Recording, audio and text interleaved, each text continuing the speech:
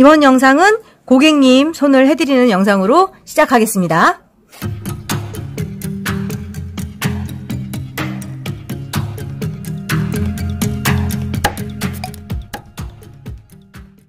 먼저 화일링을 해드리고요. 우리 고객님은 어, 컴퓨터를 많이 다루시기 때문에 손끝이 많이 깨져 있는 편이에요. 그러니까 강화제, 강화제도 바르시지만 오일도 잘 발라주셔야 되는데 가끔 바쁘시다고 못 바르셔가지고 이렇게 끝이 좀 손상이 돼서 오시거든요.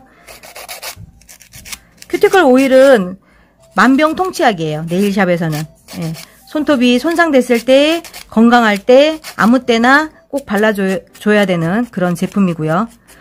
지금 손톱 상태가 좀 안 좋은 이 끝쪽이 안 좋은데 이렇게 안 좋다고 해서 손톱 전체 표면을 갈아내시면 문제성 손톱이 되기 쉬우니까 그 부분만 살짝 긁어내셔야지 전체를 다 표면 제거를 하시면 안 됩니다.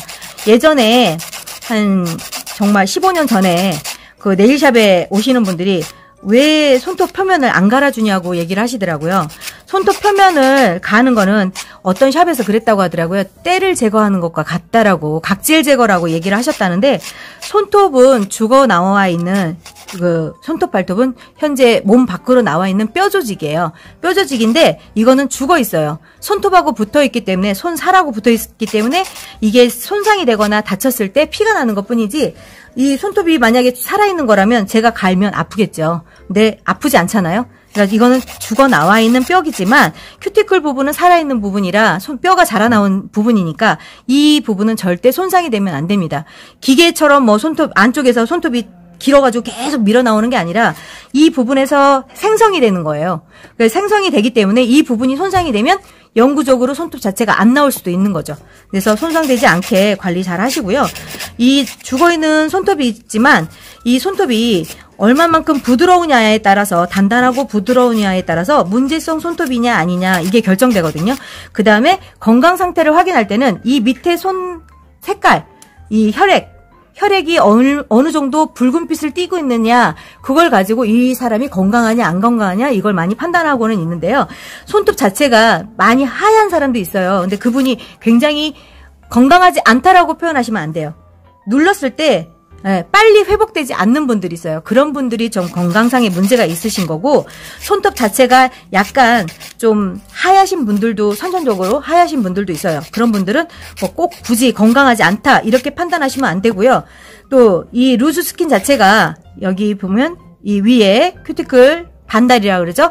반달 부분이 많이 내려와 있다고 건강하고 또 안 내려와 있어서 아예 반달이 없다고 해서 건강하지 않다. 그거는 절대 아닙니다. 그리고 너무 반달이 많이 내려와 있어서 또 그것도 문제되느냐? 그건 아니에요. 그걸로 반, 건강을 판단하는 거는 이제 한의원에서 그걸로 건강을 판단하긴 하는데요. 어, 네일샵에서는 그거 가지고까지 건강을 판단할 수는 없는 것 같아요.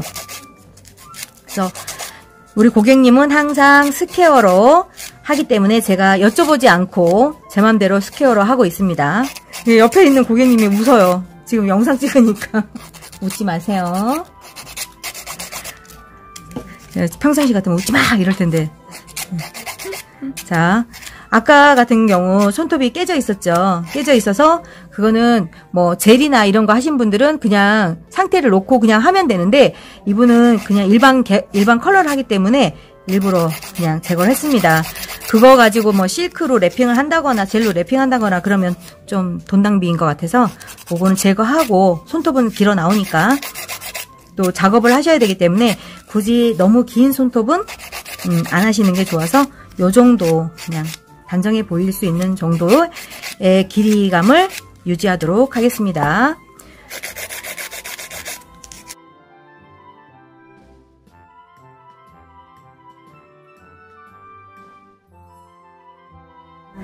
큐티클 리무버를 이용해서 네, 큐티클을 불리도록 하겠습니다. 아까 볼에다가 제가 담궜는데 그거는 항상 손톱을 갈고 나면 찌꺼기들이 많아서 가른 찌꺼기들을 빼주는 역할을 해주는 거고 절대 물로 불리거나 그러지 않는 게 좋아요. 목욕탕 갔다가 많이 불었다고 제거하면 예, 상처 나서 나중에 건조되면서 쪼임 현상이 생기니까 손이 손도 그렇고 발바닥 발바닥 특히 많이 가시는데 절대 불었을 때 가는 거 아닙니다. 발바닥도 갈 때는 마른 상태에서 화일을 이용해서 갈아주시는 게 가장 좋아요. 푸셔를 미실 때도 너무 많이 깊숙하게 미시려고 하지 말고요. 네, 적당히 그냥 큐티클 라인까지만 그냥 밀어서 표현하시는 게 좋아요. 밀, 너무 많이 밀다 보면 네, 네 계셨습니다. 네 옆에 고, 또, 상가들이 이게 오픈 상가다 보니까 여러 가지 소리가 들리는데 저는 가끔 일하다 보면 대화를 해. 어, 옆에 타로 가게도 있어요. 그래서 상담하는 거 다 들리고. 참, 어, 얘기하면 막 나 혼자 대답하잖아. 저쪽에서 얘기하면 네 이러고. 네. 오픈 상가이고 이게 정말 real real이다 보니까 어, 양해해 주시기 바랍니다. 네.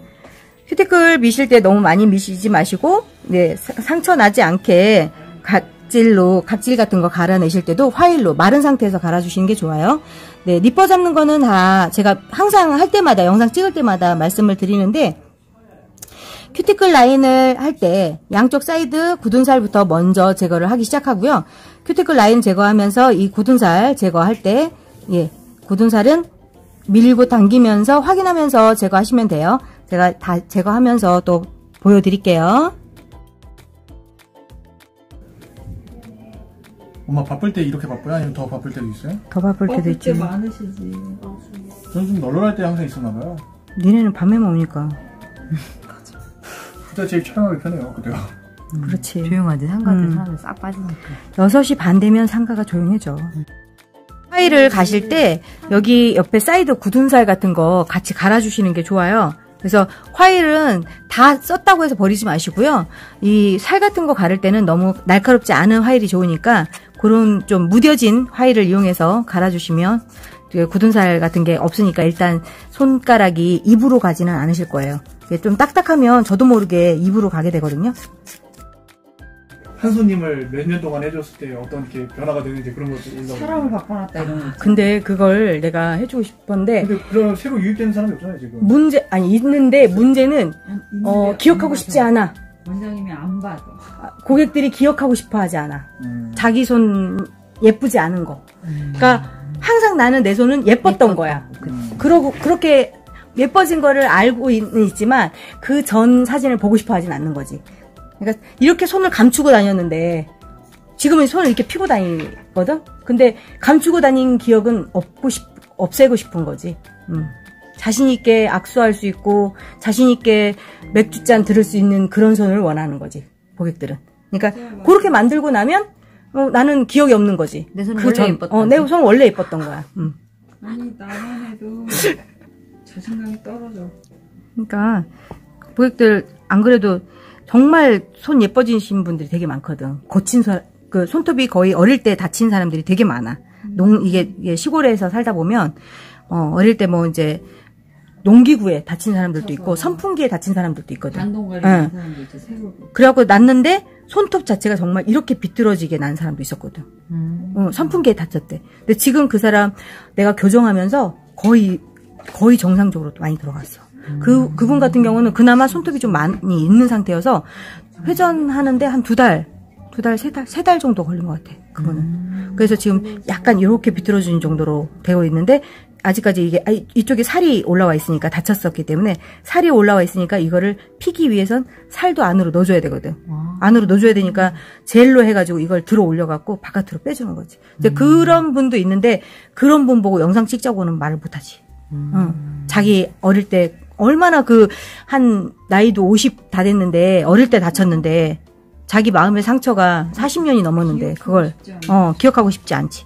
그런 걸 어, 찍자고 하면 사람 그건 아니니까. 또 어떤 분은 어릴 때 이제 그 농기구에 다쳐갖고 손톱이 정말 요만큼 남아 있었어. 근데 그분은 무좀인 줄 알, 무, 그러니까 무좀인지도 모르고 자기는 원래 그랬다고 생각을 한 거야. 아. 조그맣고 이렇게 부풀어 있었는데 내가 보니까 무좀인 거야. 음. 그러니까 다쳐서 무좀이 된 거지. 손톱 무좀이. 음. 그래서 그분은 3년 동안 무좀약을 먹었어. 정말 끈질기신 분인데 손톱 나올 때까지 먹. 어, 삼- 지금 많이 나왔는데 정상적인 손톱보다는 사이즈는 작은데 어, 그래도 거기다 이제 해놓으면 그래도 정상적으로 보이는 거지. 내- 자기가 조금만 일찍 알았다면 어, 조금 일찍 알아서 미리 약도 먹고 조치를 취할 줄 알았다면 훨씬 좋아졌을 건데 몰랐으니까 네일샵이 생긴 지 뭐 15년, 20년 요, 사- 요 사이니까 그분 같은 경우는 우리 샵 다닌 지 15년 됐거든. 음, 15년 됐는데 초창기 때부터 지금까지 이제 하고 있는데도 그렇게 정말 그거 되게 어렵거든. 그 조그마한 손도 키우는 게. 음. 본인도 굉장히 열심히 다녀야 되고. 이 제품도 강화제예요. 이거는 이제 어 그 반디에서 나오는 이 푸른 다이아 제품하고 같은 건데 요거는 독일 거예요. 독일 건데 어 이것도 제품이 괜찮아서 사용하고 투명하고 위에 컬러 위에다가도 탑코트처럼 발라도 되기 때문에 저희 고객들은 손톱 끝이 벗겨지면 절대 근다고 다 지우지는 않기 때문에 위에다가 덧바르시라고 제가 이걸 많이 보내드리고요. 이런 영양제들도 있어요. 영양제는 베이스 코트처럼 음, 수분이 부족한 건조한 손톱에 이런 베이스 코트를 사용하고 있고요.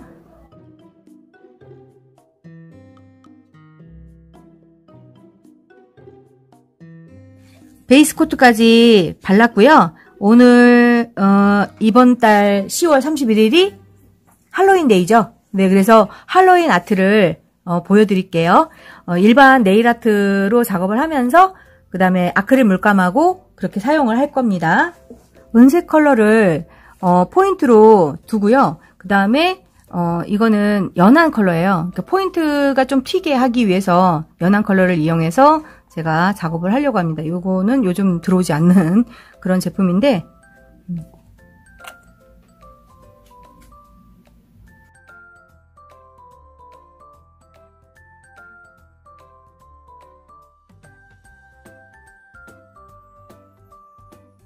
제이 컬러를 사용하려고 했는데 좀 검정이 어울릴 것 같아서 블랙으로 표현 다시 해볼게요.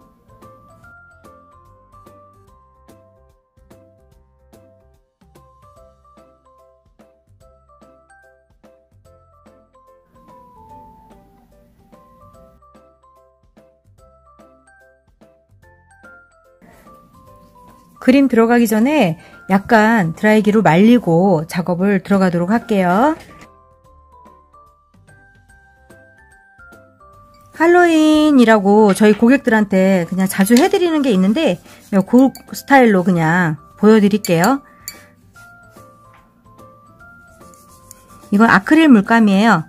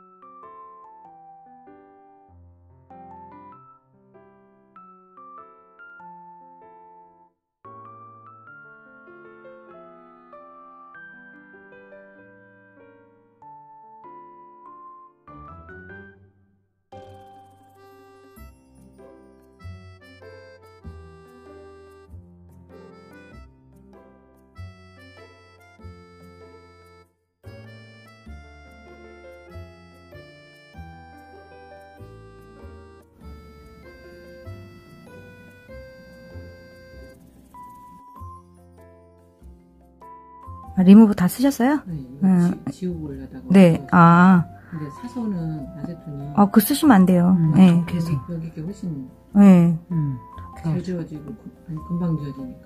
잘 지워지기도 하고 그 예, 순해요. 그러니까 음, 순- 거의 순해. 아세톤 성분이 음, 음. 거의 없기 때문에 안 그러면 일반 시중에서 나오는 아세톤 같은 경우는 다- 닦고 나면 허옇게 돼요. 그리고 음. 예, 안 그러면 뭐 그 오일 성분이 많이 들어가 있는 아세톤도 팔거든요. 근데 그거는 안 지워져요. 또. 음. 예. 그래서 사용하는 건 음, 샵에서 구입해서 쓰시는 게 제일 좋아요. 음. 아세톤 때문에 단백질이 빠져나가서 손톱이 망가지거든요. 음.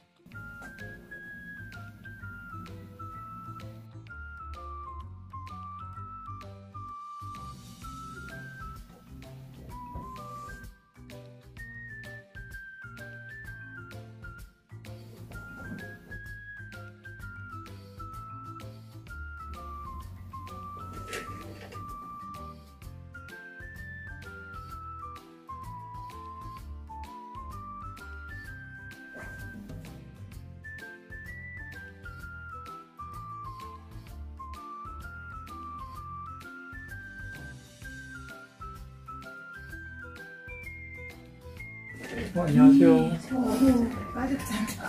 들어갈 데가 없네. 네, 여기 안쪽에 자리 하나 있습니다. 있어? 네. 이모 이거 살짝 치우. 초저녁 같네, 초저녁. 촬영하는 거야? 네. 음, 올릴 거? 음. 할로윈 특집. 아, 여기 있으면 크리스마스 특- 특집도 찍어야겠네, 엄마. 뭔 특집이 이렇게 많어.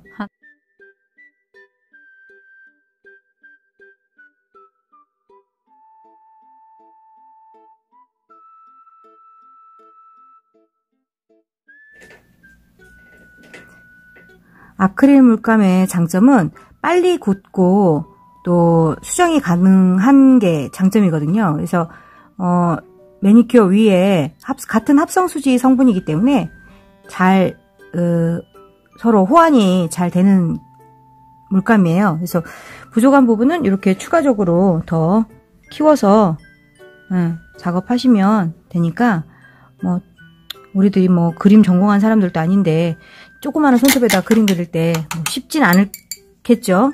그러니까 이런 식으로 어, 내가 원하는 그림이 나올 수 있게 수정하시면서 작업하시면 네, 될 겁니다. 음. 네. 우리 이런 잡담. 그런 거는 편집 들어가죠. 하고. 음. 그러니까 이제 엄마가 발언할 때는 어. 조용히다가 음, 엄마가 발언 안 하면 또 얘기하고 음. 그러다 그러다 보니까 이제 이게 유튜브 찍는 게 뭐 엄마 가게 운영하는 거하고 동시에 할 수가 있더라고요. 음. 처음에는 동시에 할 수 있을 거라고 생각을 못 했는데 영상 촬영을 따로 하고 가게는 따로 운영하고 해야 될 줄 알았는데 지금 와서 보니까 거의 하이브리드가 됐어요 지금 음. 아주 자연스럽게 지금 엄마 가게 음. 조명 장비들하고 이게 돼 있으니까 음. 얼굴 안 보고 가만히 듣고 있으면 아빠야. 말투랑 이런 게.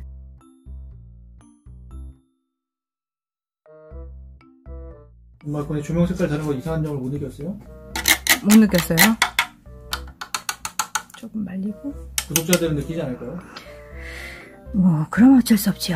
중간에도 댓글 다는 거 아니에요? 원장님 색깔이 다른데요? 어쩔 수 없죠. 여기에 호박이 하나 더 있으면 좋을 것 같아요. 약간 보이게 살짝 균형을 맞춰주는 게 가장 그림에선 중요하니까 조금씩 봐서 부족한 부분은 균형을 맞춰가면서 다시 하시면 될 거예요. 지금 뭐 크게 뭐 문제되지는 않는 것 같고 전체적으로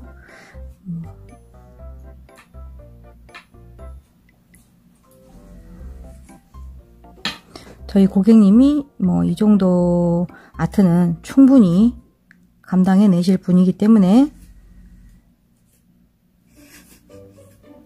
맞죠? 대답을 해야지. 네. 음, 네.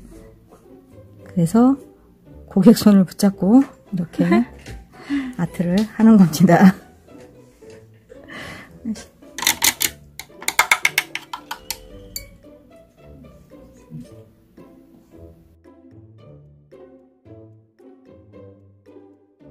이렇게 아트가 끝났고요. 이제 탑코트 바르면 마무리 되는 건 데 이제 top coat 바를게요.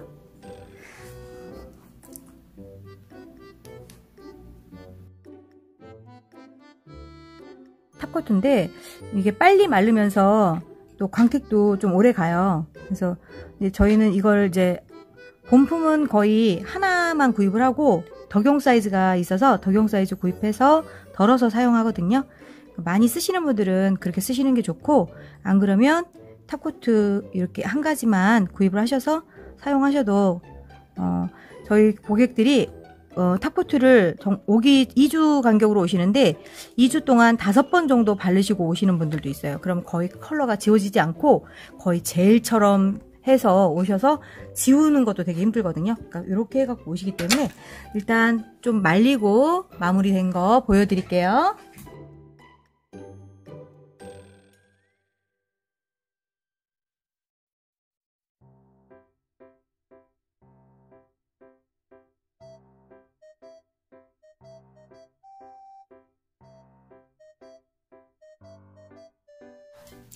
오늘 영상 마음에 드셨나요? 마음에 드셨으면 좋아요, 또 구독 눌러주시고요. 궁금하신 게 있으면 항상 댓글 달아주시면 감사하겠습니다.